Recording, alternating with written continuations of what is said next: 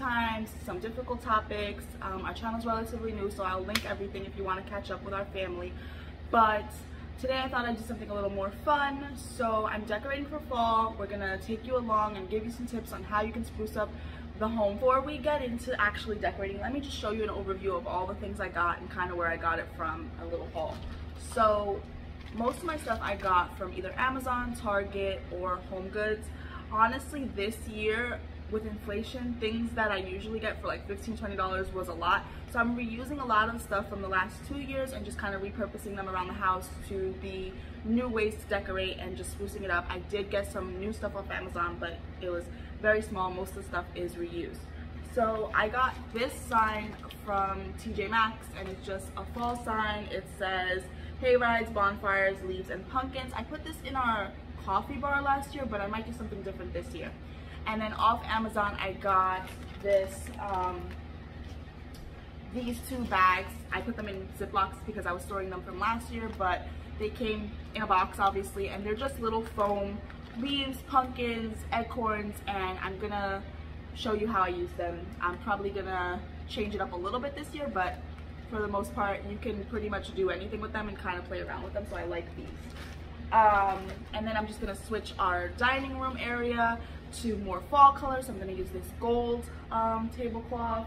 And then I'm gonna switch our kitchen. So I got kitchen towels that are, um, that have the fall colors and like some pumpkins and things like that.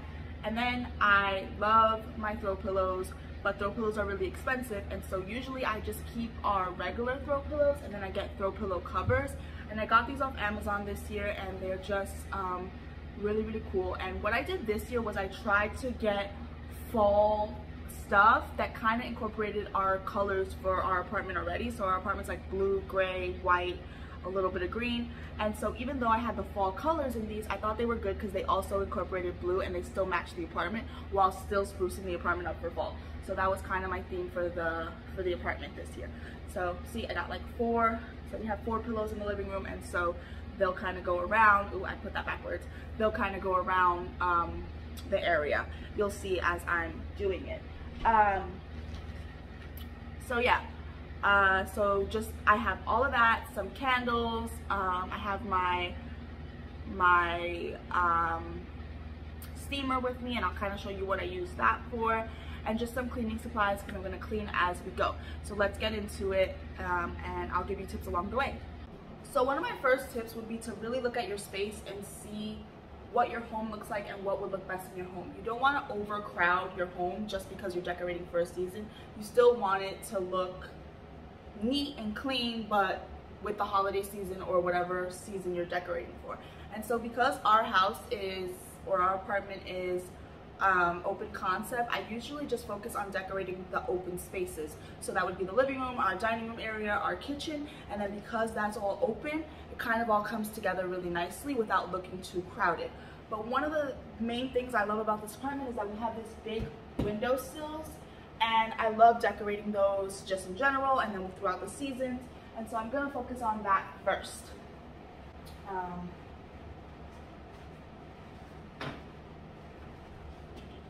so first thing I'm gonna do is take off everything I have here and then I'll show you.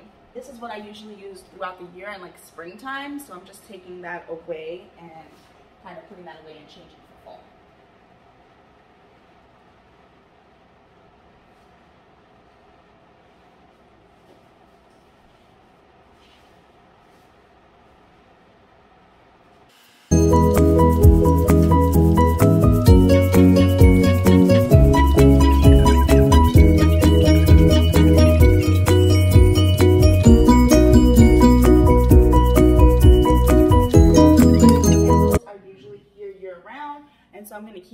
because they're white and they kind of offset everything and they're kind of just here all year round. Um, I got these off Etsy, someone makes them. They're really pretty and they just kind of have little ridges and I really like them to just be kind of neutral in the apartment. So what I mean by reusing stuff you already have, so I usually have this tray here and then I usually have my little fake plants on it throughout the year in springtime and summer But for fall, I'm gonna change it up, but I'm still gonna use the tray. And so I don't have to like buy another tray or anything like that, right? We just took off those fake plants we had for the springtime and the fall, and then we're just gonna clean our tray and let it dry, and then I'm gonna show you how I'm gonna change it up.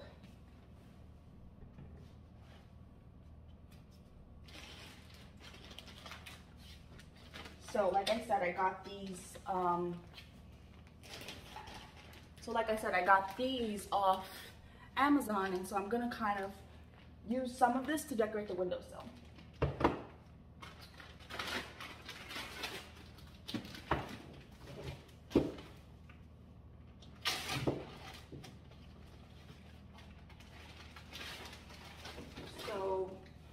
things first, I usually have like little white candles on this side, but I'm gonna repurpose those for our dining room and I'll show you about that later. So because those are missing, I'm gonna fill up this space and I'm going to use this sign to fill up the space. So instead of putting it on our coffee bar this year, I'm putting it on our windowsill and kind of building from there.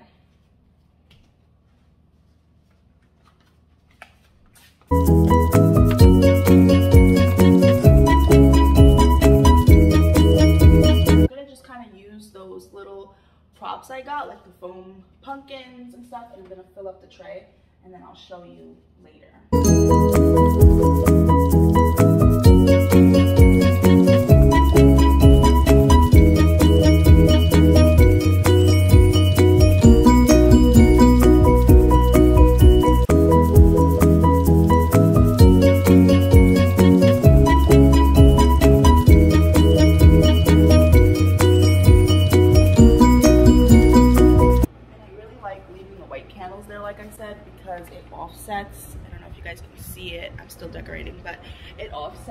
Colors and keeps it neutral so it keeps it from looking um, a little too overdone or too crowded like I was talking about before.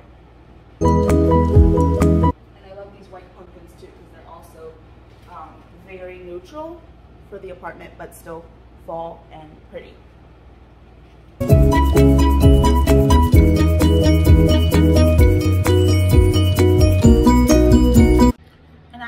Couch is right next to the window and so I like to keep that up to date too. Like I said, we have four um, throw pillows in the living Well, we actually have more, but I'm gonna show you. Um, so like I said, the ones I got off Amazon, I'm just gonna fill them up and then I'm gonna show you what I do with them later to kind of make them pop a little bit more. And so I'm gonna just cover each one and then figure out where I'm gonna put each one later.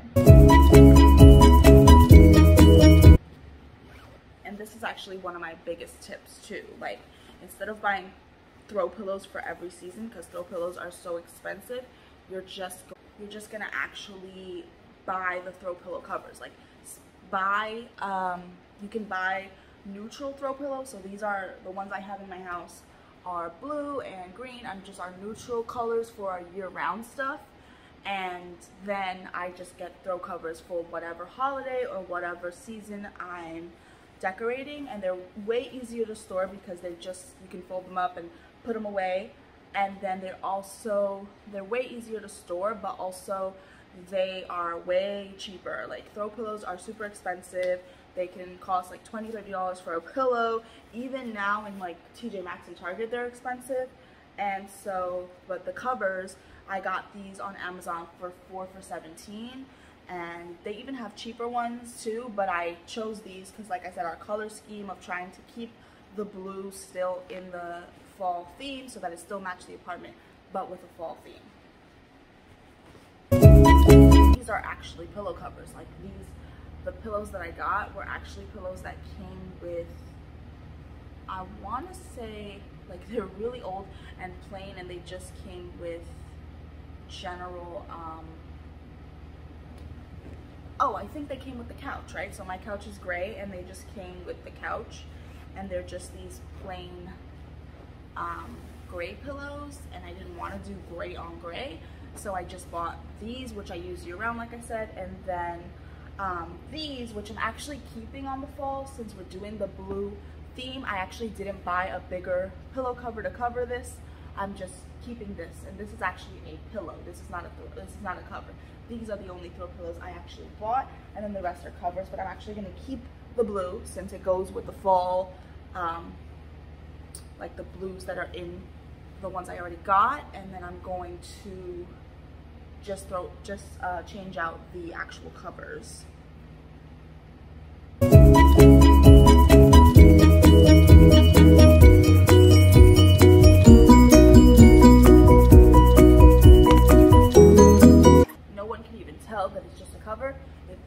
Exactly like a throw pillow and then you can just switch it out for Halloween. I'm probably gonna add, today I'm just doing general fall um, decorations, but I'm probably gonna add some Halloween when we get closer to Halloween and we're gonna do our Halloween stuff. But right now it's just general fall.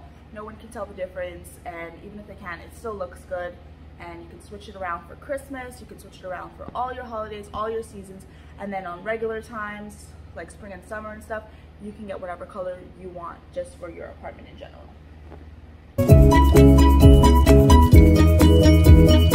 Guys, so I told you that I would also let you know my tip on why I use a steamer whenever I switch my throw pillows and throw covers. So I got these off Amazon. You cannot wash normally. I don't know if there are any, but normally the ones I get, you cannot wash throw pillows. It's like spot clean and spot clean to me doesn't get rid of bacteria. So there's two reasons why I use a handheld steamer when doing my pillows. One, to get rid of any bacteria or dust from like the factory or anything like that. And two, because you see it looks, when you stuff this pillow in here, then it looks a little wrinkled and not plugged up. Giving it that quick steam is gonna get you to look a little bit more pristine and neat, kind of like you ironed it and also get rid of any dust or germs. So I'm just gonna get my steamer. I'm gonna put my steamer on. I already filled it with water. I'm gonna put it on and get these pillows steamed and then move on to the other decorations. Just this handheld steamer, you fill it with water, you let it um, heat up and it's really easy to kind of move around and do projects with.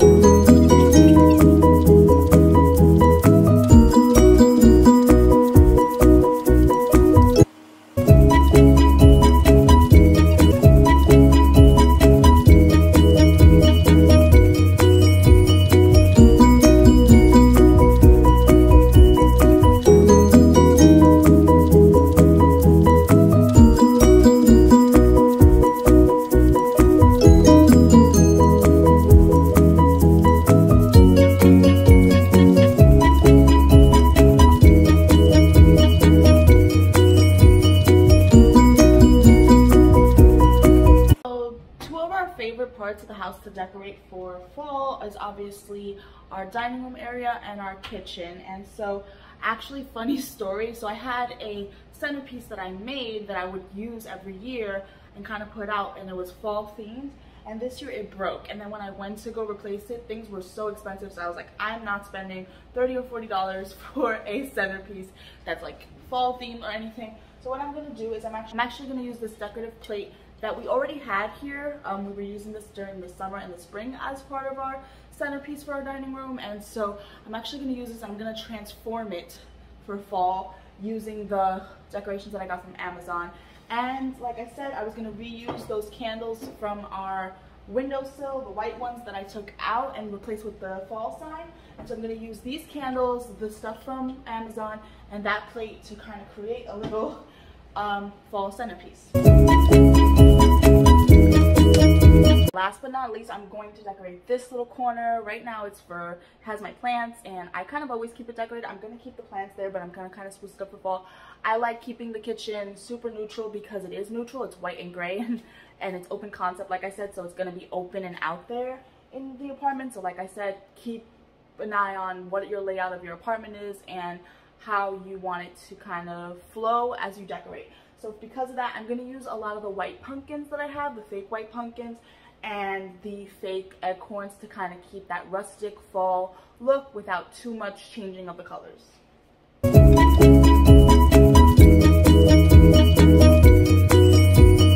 Then probably like today I'm using one of my favorite um, candles. It's called Clean Kitchen and it literally smells like you just cleaned your kitchen and it's fresh and it's like citrusy but um, I'm probably gonna switch this out. I'm gonna use this for now just because I'm doing the white and rustic fall theme in the kitchen here but I am gonna probably switch this out for a Halloween candle when I update